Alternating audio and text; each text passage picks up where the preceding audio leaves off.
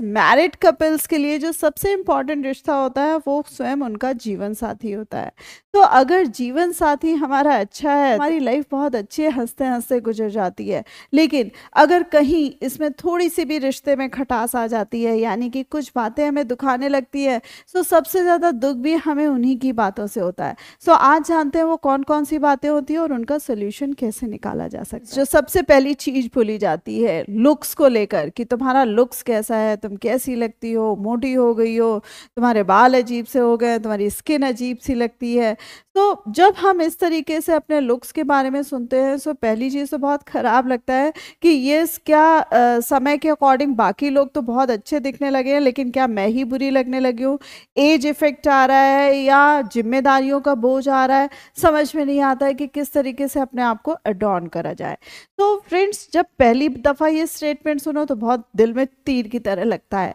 लेकिन यस यहाँ पर समझने वाली बात ये भी है कि ऐसा तो नहीं कि यस हमारे लुक्स बहुत ज़्यादा ख़राब हो रहे हो। और अगर इन लुक्स को थोड़ा बहुत सही करा जा सकता है, यानी कि थोड़े से अगर हम एफर्ट्स डाल सकते हैं और लुक्स को सही कर सकते हैं तो क्यों ना सही कर ले? यानी कि हमारे कपड़े पहनने, ओढ़ने का ढंग, या हमारी स्किन डल हो रही है सो फेशियल अगर रिक्वायरमेंट है सो फेशियल करा लें। द सेम वे कई बार क्या होता है कि हमारे जो हाथ होते हैं, वो बहुत शैबी हो रहे होते हैं सो उनको सही करा जा सकता है सो वो सही कर ले। होता है क्या है कि हम दिन भर टाइल टाइलें घिसते रहते हैं? घर पे लगे रहते हैं। तो भाई ठीक है, घर के आप काम करिए, लेकिन अगर कहीं आपका अपना स्वयं का रिश्ता ही खराब हुआ जा रहा है, यानी कि टाइलें घिसते घिसते टाइल तो चमक गई, लेकिन आपका चेहरा ही खराब हो गया तो फिर फ़ायदा क्या है? अगला टाइल देख के तो हर समय मंत्र मुग्ध हो नहीं सकता है। सो यस टाइलें चमकाइए, लेकिन एक लिमिट तक और अगर उसमें डोमेस्टिक हेल्प ले सकते हैं तो ज़रूर लीजिए। और अपने चेहरे को पहले ज़रूर चमका लीजिए। के साथ साथ फ्रेंड्स तुम्हें कपड़े पहनने ओढ़ने का ढंग नहीं है, तुम्हें बातचीत करने का ढंग नहीं है। यहाँ पर जो बात आती है कि कपड़े पहनने ओढ़ने का ढंग नहीं है, होता क्या है कि जो लेडीज़ होती हैं, वो यूजुअली अपने ऊपर ही कटौती करती है। यानी कि अपनी जब भी उन्हें शॉपिंग करनी होती है तो वो देखते हैं रोड साइड से अगर कुछ खरीद सकते हैं या सस्ती दुकानों से कुछ खरीद सकते हैं, और उन्हें लगता है कि उन्हें कौन सा कोई बड़ी हाई शाई जगह पर जाना है, ऐसे ही कुर्ती खरीद लेते हैं या ऐसे ही फुटवियर्स खरीद लेते हैं, ज़्यादा तो निकलना नहीं है। थोड़ा बहुत निकलना है तो हमारा काम चल जाएगा। तो फ्रेंड्स ये जो काम चला हुआ एटीट्यूड है, उस काम चला हुआ एटीट्यूड में जो हमारी पर्सनैलिटी होती है, वो भी काम चलाऊ हो जाती है। तो फ्रेंड्स जैसे हम अपने बच्चों के लिए ब्रांडेड क्लोथ्स ले रहे हैं, अच्छे क्लोथ्स ले रहे हैं हस्बैंड अपने लिए अपने ऑफ़िस जाते हैं, अच्छे क्लोथ्स लेते हैं, अपने आप को बिल्कुल अच्छे से टेंच करके चलते हैं, उसी तरीके से फ्रेंड्स आपको अपने लिए कटौती नहीं करनी है। अच्छे कपड़े पहनने का मतलब होता है अच्छे कपड़े, यानी कि उसमें कटौती मत करिए। उसको एवं या बेकार बाज़ार मत टालिए।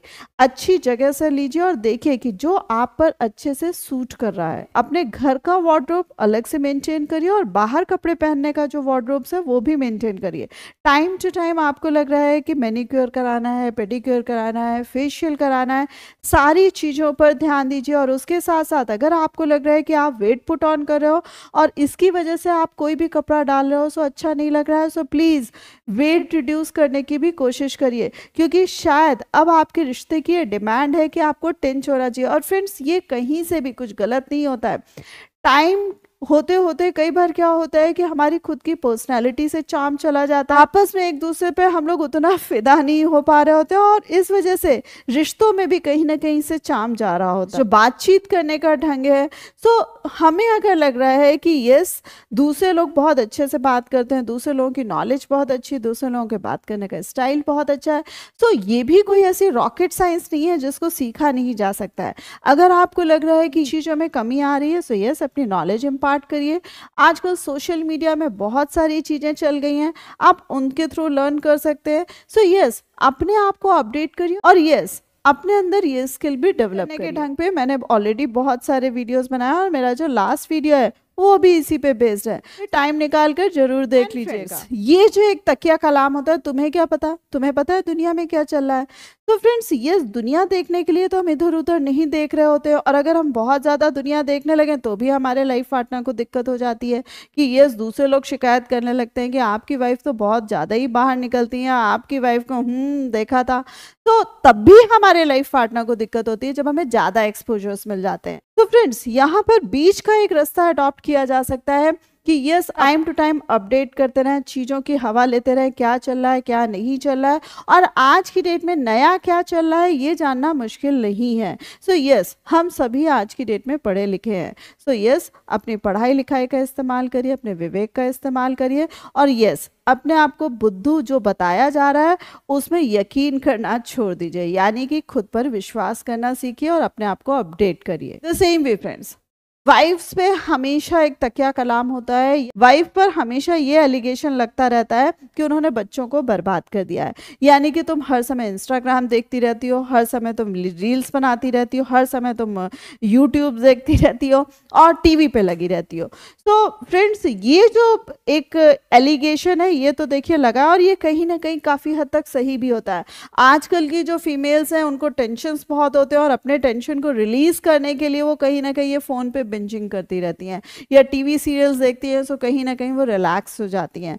सो फ्रेंड्स ठीक है आप अपने आप को रिलैक्स करिए चिल करिए। बट येस बच्चों के साथ आपकी बाइंडिंग बनी रहे बच्चे आपके क्या कर रहे हैं उनकी पढ़ाई किस तरीके से चल रही है आप उसमें क्या अपना इनपुट दे सकते हैं कहाँ से वैल्यू एडिशन कर सकते हैं। सो so, यस yes, अपनी ये सारी चीज़ें ज़रूर अपडेट करिएगा, क्योंकि यस बच्चे आपके खुद के हैं और यस जब ये चीज़ें सुनो तो बुरा भी लगता है और बच्चों के रिजल्ट्स ख़राब आते हैं या बच्चों का बिहेवियर ख़राब होता है, सो तो भी खुद को बुरा लगता है। बट यस इसके साथ साथ जो ये एडवाइस दे रहा है, उसको भी इन्वॉल्व करिए और उससे कहिए कि भाई जब शाम को आप आ जाते हैं तो थोड़ा अपना वैल्यूबल टाइम प्लीज़ बच्चों को ज़रूर दीजिए। इसी के साथ साथ फ्रेंड्स यूजुअली आजकल के हस्बैंड्स की जो एक अच्छी आदत पड़ गई है, बहुत ज़्यादा अच्छी आदत पड़ गई है, वो ये है कि वो फ़ोन पर ही लगे रहते हैं। अगर वाइफ उनसे कोई बात भी करती है, सो तो भी वो फ़ोन पर देखते देखते बात करते हैं। लगता है कि पता नहीं क्या इंपॉर्टेंट काम हो रहा है, क्या इनकी चीज़ें छूटी जा रही, कौन सी इंपॉर्टेंट मीटिंग मिस हो जाएगी, कौन सा इंपॉर्टेंट मीट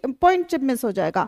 बट यूजुअली अगर आप बहुत ध्यान से देखो तो वो कहीं कोई रील देख रहे होते हैं या फ़ोन पर बिंजिंग कर रहे होते हैं या फ़ोन पे ही पता नहीं क्यों अटके होते हैं।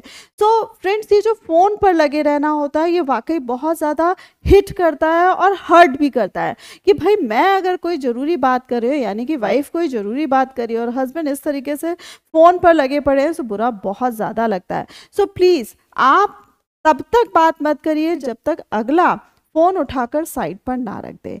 और आपकी बात करने की शर्त भी यही होनी चाहिए कि मुझे एक बात करनी है। आप हर समय बात मत करिए, आप हर समय शिकायत मत करिए, आप हर समय अगले को डिस्टर्ब मत करिए। ठीक है, उनको अपना मी टाइम चाहिए, आप दे दीजिए।